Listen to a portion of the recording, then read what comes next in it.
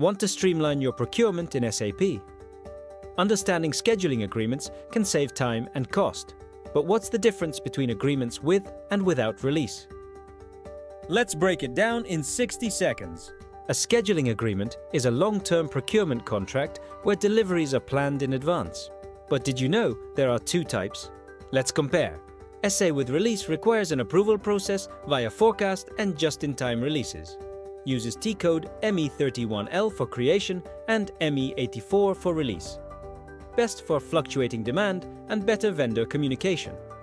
SA without release has no extra approvals. Vendor delivers based on directly maintained schedule lines. Uses T-code ME34 for schedule updates, ideal for stable demand and direct procurement. So, if you need flexibility and controlled planning, go for SA with release. If your demand is stable, SA without release is simpler. Want more SAP tips? Like and follow for more insights.